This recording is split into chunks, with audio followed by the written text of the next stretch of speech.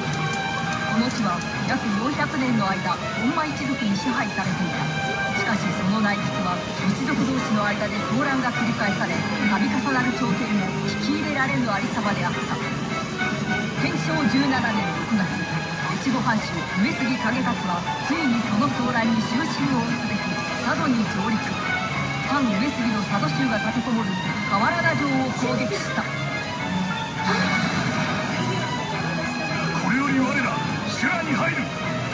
仏と会えば仏を切り。鬼と会えば鬼を斬る情を捨てよ。ただ人影